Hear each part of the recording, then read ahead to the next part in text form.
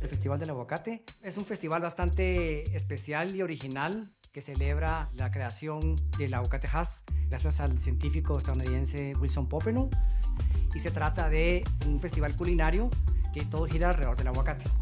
La actividad está compuesta de dos partes. La primera parte son conferencias especializadas sobre el tema del aguacate y la segunda parte es ya la parte del concurso culinario en el cual participan escuelas culinarias y chefs profesionales.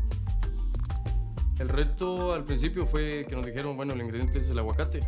Empezamos a hacer pruebas, hicimos un montón de, de, platos y pues los que trajimos aquí hoy a la competencia fueron los que más nos gustaron. Cuando es algo eh, de competir que es monoingrediente, como en este caso con el aguacate, creo que despierta mucho la creatividad porque tenés que hacer maravillas con un único ingrediente. En este caso teníamos notas ahumadas, acarameladas, ceniza, carbón. Tenemos todos la idea de que el aguacate es una comida salada y ahora pues exploramos por lo menos ocho platillos eh, utilizando el aguacate en los postres y estaban todos buenísimos.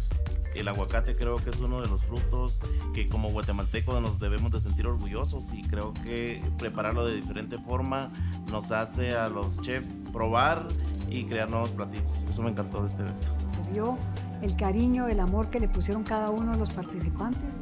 Se nota que era gente que sabía de gastronomía y de cultura. Y el hacer la participación de estudiantes y de profesionales yo creo que fue muy, muy importante. Una competencia sana y que saque lo mejor de cada uno de los participantes nos hace más comunidad gastronómica en Guatemala. Para ellos debe ser enriquecedor y, y, uno se da cuenta realmente de las nuevas generaciones que vienen atrás, ¿verdad? Y que también tienen un potencial muy grande.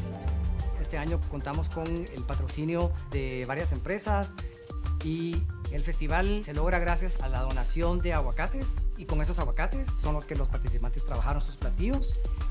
La organización creo que fue algo maravilloso, lo hizo muy bien la Universidad Francisco Marroquín. Es un evento exitoso porque da la idea que no hay límites respecto a lo culinario, lo que se puede hacer con un único ingrediente como es el aguacate. Cubrió todas las áreas, o sea, la historia, la parte de nutrición, la parte de degustación. El fin de semana más alegre alrededor del aguacate está en Casa Popelo, en el Festival del Aguacate. Vengan a esta actividad porque se crece muchísimo. Si les gusta la comida, si les gusta probar cosas nuevas, si les gusta aprender sobre lo que se hace en Guatemala, no se lo pierdan, ya les estaremos informando sobre el próximo evento.